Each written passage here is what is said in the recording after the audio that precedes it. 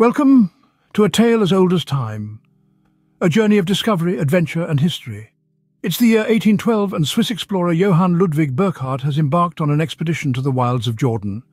His quest, the lost city of Petra, an ancient marvel hidden from the world for centuries.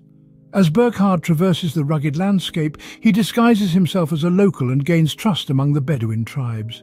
They guide him through a narrow, winding gorge known as the Siq, and there it is, the Rose City, carved directly into vibrant red sandstone cliffs. A testament to human ingenuity and resilience, Petra, an architectural masterpiece, stands as a beacon of our shared past. It was lost, but now it is found, and its secrets are ours to explore. Join us next time for another bite-sized adventure into the annals of history.